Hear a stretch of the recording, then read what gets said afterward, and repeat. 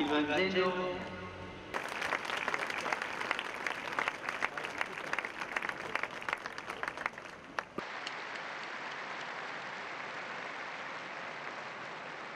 La scorsa settimana sono stati compiuti vari attentati, per esempio Norvegia, Afghanistan, Inghilterra, che hanno provocato numerosi morti e feriti.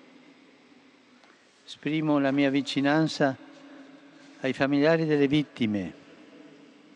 Vi prego, per favore, di abbandonare la via della violenza, che è sempre perdente, che è una sconfitta per tutti.